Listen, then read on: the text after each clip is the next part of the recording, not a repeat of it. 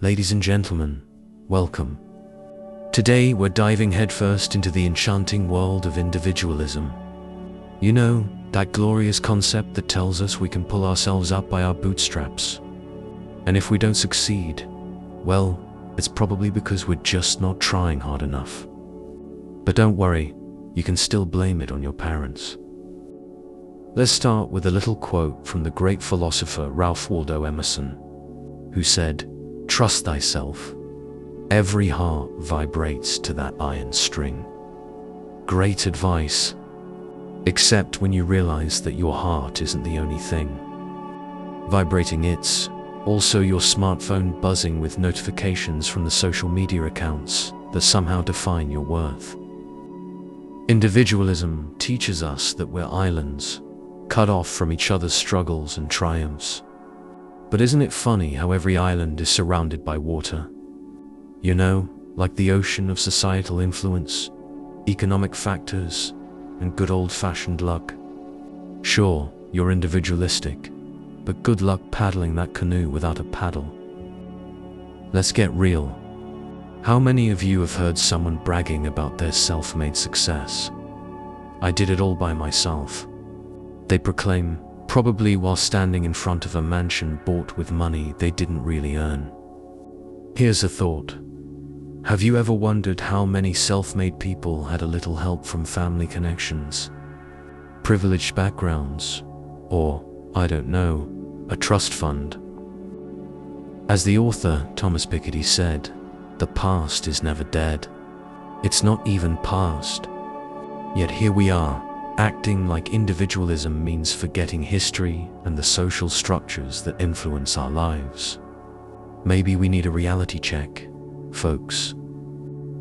Individualism suggests that our achievements are purely our own. But what about the countless individuals who have helped us along the way?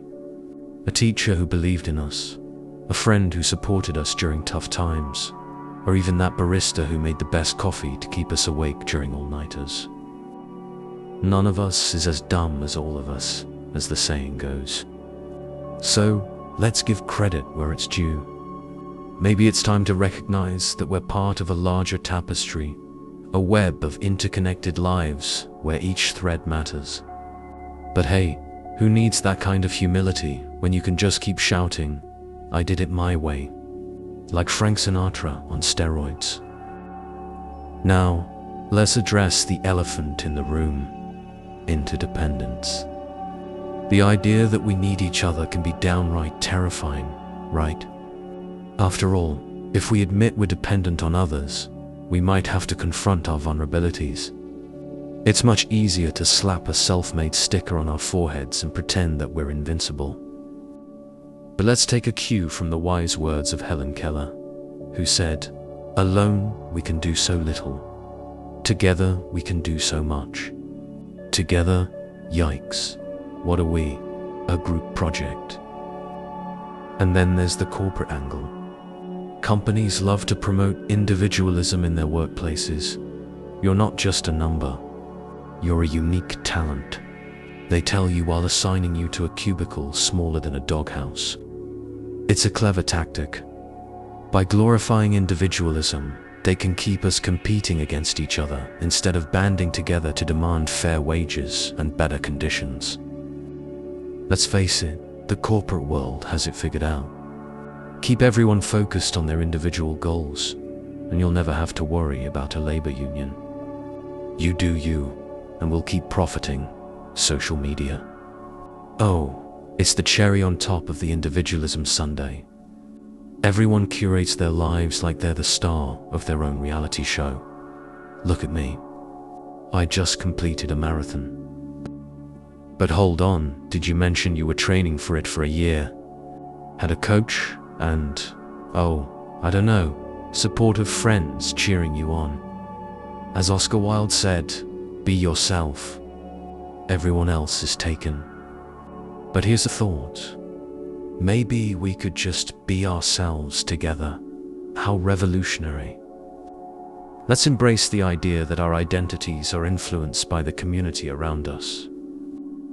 Or better yet, let's just scroll through Instagram for validation and pretend we're doing fine. hyper-individualism can lead to a toxic cycle.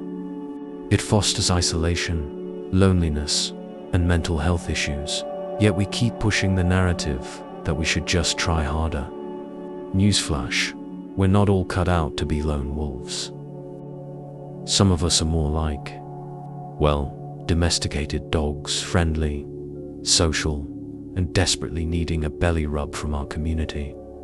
Let's take a moment to reflect on this insightful quote from John Donne.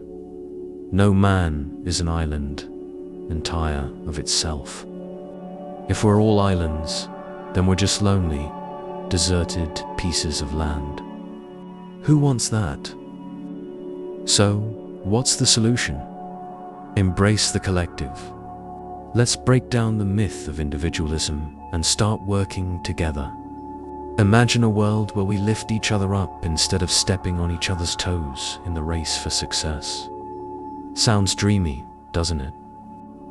The truth is, when we collaborate, we create something far greater than ourselves. Think about it. Every great movement for change, from civil rights to climate activism, has relied on collective action. So, let's put down the self-made badge and start wearing community-driven t-shirts instead. In closing, let's remember, while individualism can be a nice little story to tell ourselves, it's time we wake up and smell the coffee. We're not alone in this world. We're all part of a complex, beautiful, and often messy community. So the next time someone tells you to go it alone, just smile and remember, together we can do so much. Now go out there, connect with your fellow humans, and let's rewrite the narrative of success together. If you enjoyed this sarcastic romp through the myth of individualism, please like, subscribe, and share your thoughts in the comments. Let's build a community right here, right now.